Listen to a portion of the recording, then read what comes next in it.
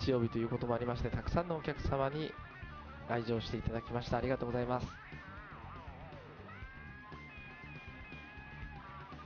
まもなく選手が登場です。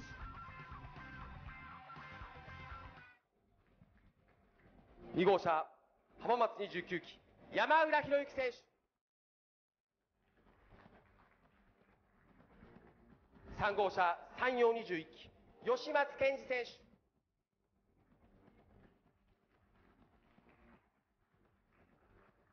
4号車浜松25期遠藤誠選手。5号車山陽28期瞳武史選手。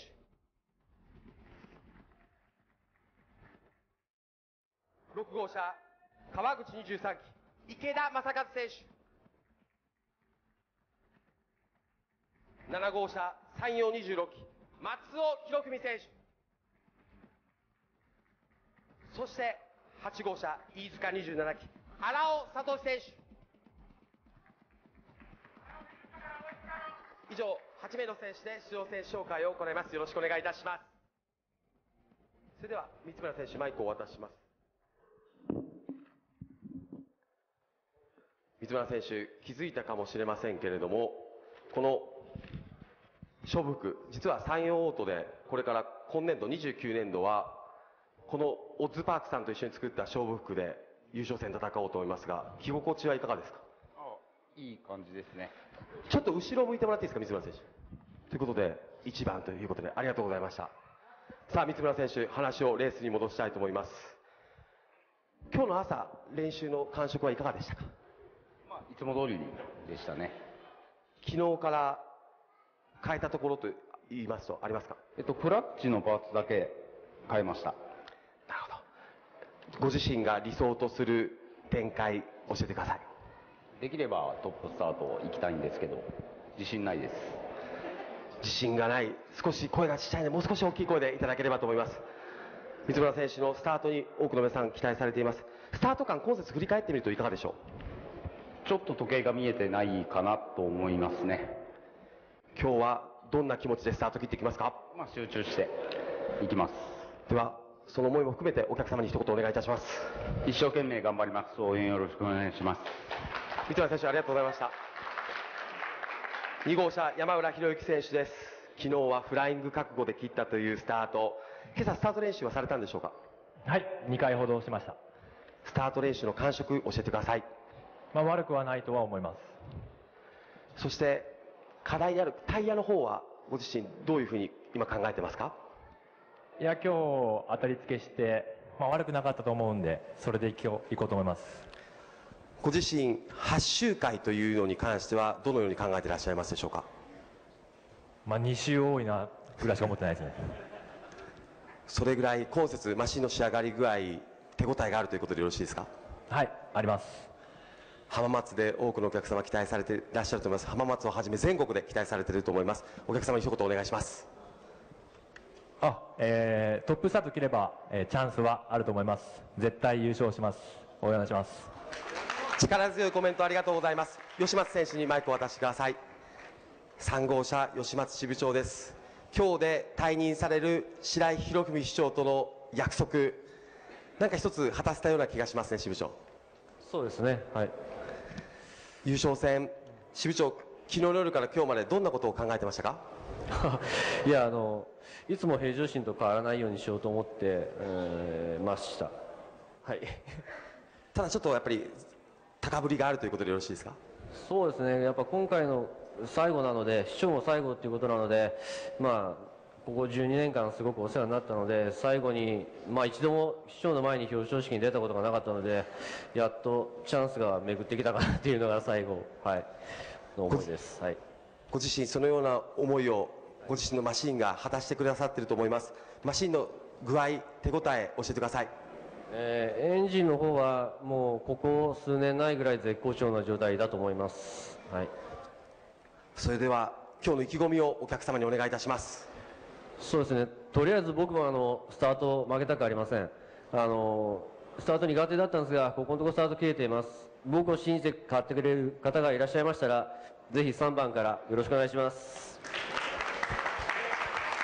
遠藤選手にマイクをお願いいたします。4号車遠藤選手また10メートルのうちという魅力的な位置になりました。はい。毎日ここですね。ご自身昨日から今日にかけて何か整備されたことがあれば教えてください。してません。タイヤについてはどうでしょうか？昨日と同じ変えてきますか？リアタイヤだけ変えますその今朝の感触朝練習の感触を教えてください。はいバッチリです。何か一言一言とても自信があるように思うんですけれども。ないです。遠藤選手ないとは言いながらちょっとあの勝負服のチャックを下ろしてもらっていいですかね。あやっぱりファイターズの。遠藤選手ファイターズは開幕ダッシュに失敗しましたがここで遠藤選手一つ大きいところを狙いたいですね。はいファイターズは6連敗中です。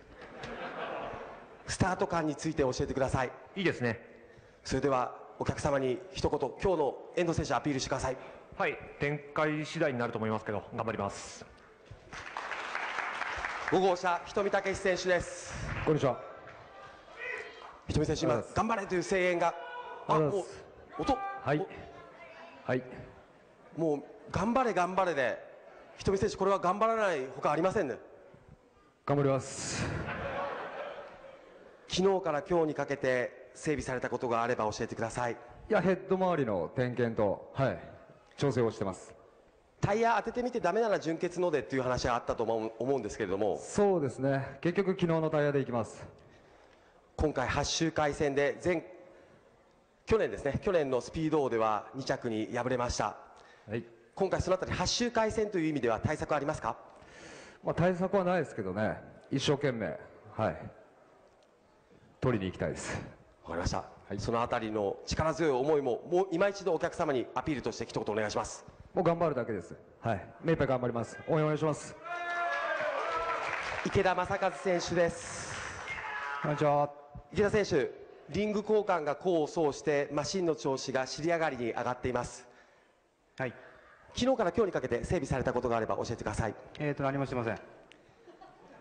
タイヤの方は昨日ちょっと考えるというお話だったんですけれども決断の方はされましたか？昨日のでいきます。